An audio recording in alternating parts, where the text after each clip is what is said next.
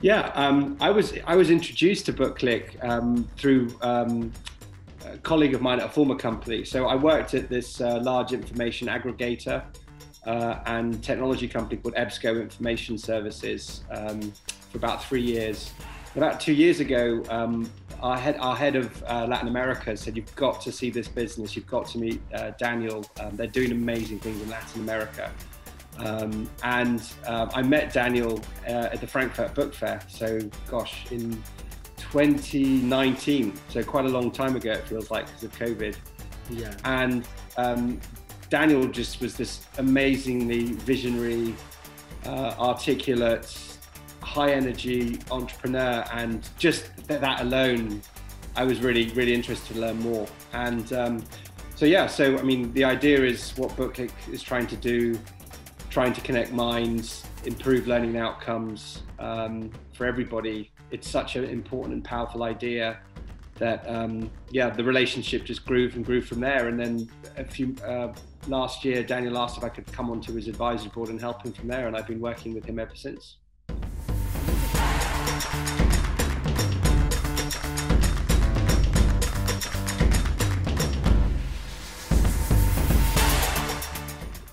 Think I think one of the biggest challenges is is around uh, impact and cost. Um, so um, you know, a lot of people working in higher education will think that they're their peak, the best they've ever been. But if you look at the high level statistics, uh, we have the highest rates of youth unemployment uh, ever. Um, you know, and it's almost as if if you go to university, you'll have less chance of getting a job. And I'm not saying that's the case, but you also put that against the cost and the, the, the really expensive cost of, of, going to college and taking on huge amounts of debt, particularly here in the US. Um, I think I think uh, student loans uh, outstrips credit card debt three to one now. It's it's just an incredible amount of debt that people are taking on to get educated, and they're not getting good jobs. And those jobs that they're being prepared for aren't aren't there in the economy. So there's a real mismatch. There's a real um, uh, value uh, problem there as well. Um, so I think I think the whole economics and, and, and value of higher education is is particularly challenging. Um, that's kind of the big macro picture. Um, going a bit deeper into that, I think um, there's also huge amounts of divide. Um, so education is meant to be a great leveler in society, helps people go through the different economic classes uh, as well. Um, but I think COVID is, is, is, really increase the amount of digital divide. So people who have access and can access and can do stuff online, and people that just don't. Um, and that's a real problem. Um, and so there is there are really powerful movements now towards um, moving to outcomes. So people are measuring what outcomes are. So what are pass rates? What are um, what are uh, grades? What are completion rates? What are satisfaction levels for both students and teachers? Those things are being measured more and more and more now, which is fantastic. Um, and technology is lining up to be technology is lining up to deliver those experiences that can hit those outcomes.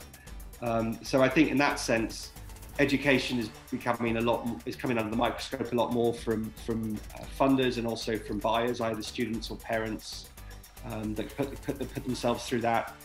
And I think I think now it's it's less about just getting access to something digitally. It's about what you actually do with it uh, and does it drive an outcome? And again, going back to Booklick, Booklick's job is not to sell more um, books. Booklick's job, it can obviously help uh, libraries work out what's more valuable and what's more useful, um, and they can get a better return. But Booklick's job is to connect minds to drive better learning outcomes. And that's, you know, be more inclusive, be more connected, and, and, and better, better outcomes for students and universities.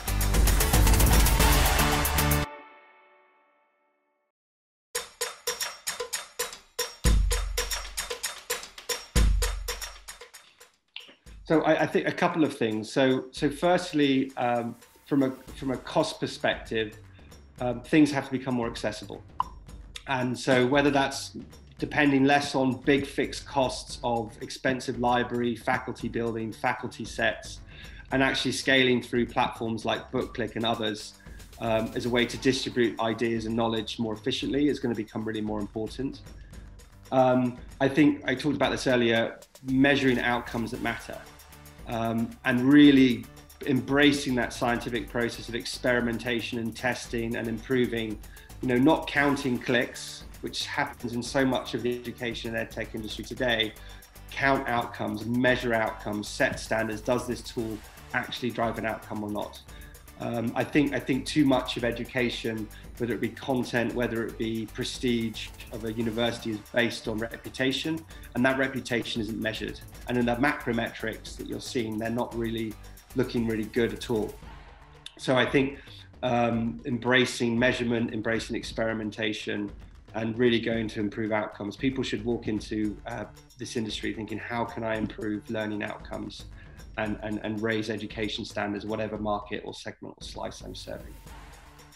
Um, I think I think what we're also going to start to see um, um, is a shift from what I call um, this is why I'm backing and getting involved with Booklick um, we're going to see a shift from traditional supply industries to more um, demand side industries. And what I mean by that is if you think about the traditional publishing or content model, you actually go and make something, and the power is all in about the authors and this product that you can ship into the market. Um, and you control through paywalls and distribution and all this kind of stuff. I think ultimately, if you look at other industries, it's going to shift from not who owns the hotel, but who owns the booking list, the people who are looking for things and matching demand and supply. Um, so these platform businesses, you know, whether they be Airbnb or, or um, Uber or what have you. And I think these sort of supply, sorry, demand-driven um, platforms or, or market-making platforms are going to become more and more important because markets will always trade to the most efficient point, uh, whereas pipelines they want to maximize the value of what they're making. So um, kind of different uh, incentives, um, um, and we've seen some of the damage that um, other other players in the industry have, have done uh, to research or learning from that sort of pipeline mindset. Um, I, I, think also, um, so moving from supply to demand driven, I think the final thing that that I'm, I'm actually part of and, and, experimenting myself with is, is um, it's, it's no longer going to be one size fits all. Um, and what I mean by that, traditionally, you just go to one university, you, you do it for your three or four years, uh, you get the, your degree, you do your courses, all your materials.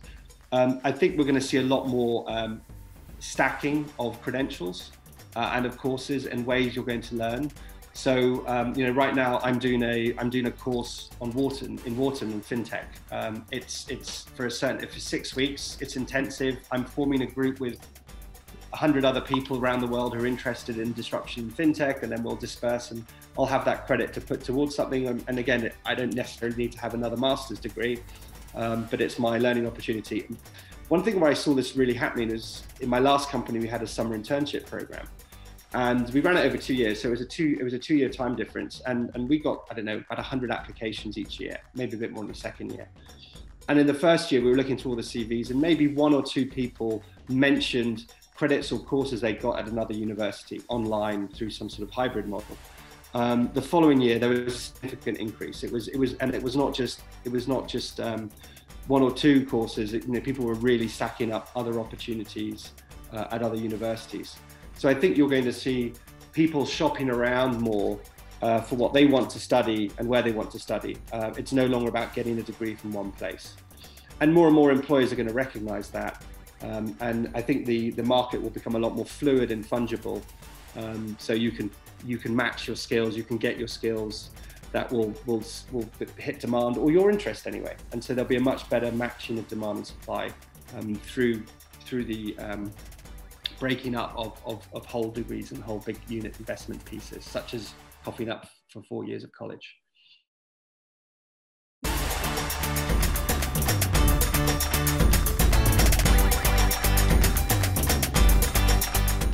Um, I think I think Booklicks is, is is bringing several things, and it's differentiated for for a couple of reasons. So, firstly, um, Booklick is a is a is a very user focused company.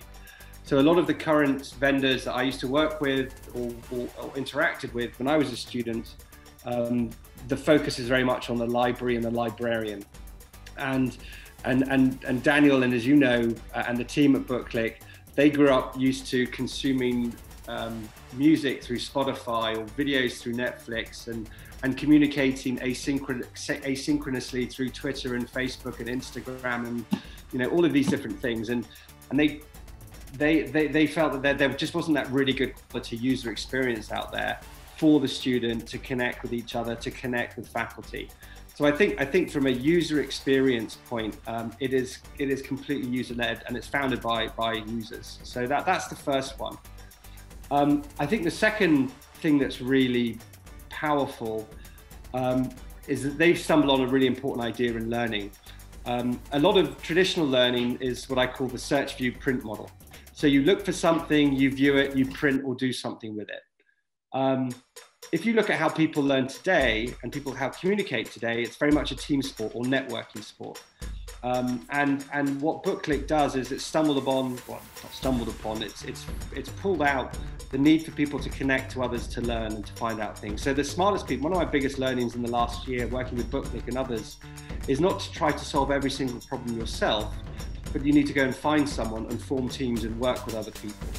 And so um, being able to, to learn in a team with others, whether they're strangers, whether they're friends, whether they're classmates, whether they're faculty, is a really, really powerful tool that just simply doesn't exist anywhere else. Um, and I think finally, um, because it's because it's content agnostic, doesn't depend on any specific publisher. It's completely focused on um, the student and it's and it's focused on um, the experience of that student learning. Um, it, it, can be a real big meta platform. And you've seen this in the growth. Daniel's, you know, the company has seen this in the growth. It's just grown really, really quickly. Everybody loves it. Everybody uses it. Um, and uh, it can sit across all learning platforms. So it's a really powerful meta organizer can connect minds across not just different systems, different publishers, different content, different workflows, um, but also different universities and different groups of people. And I think the power of connection um, is the more people that you can connect to or can connect into it, the more powerful it becomes.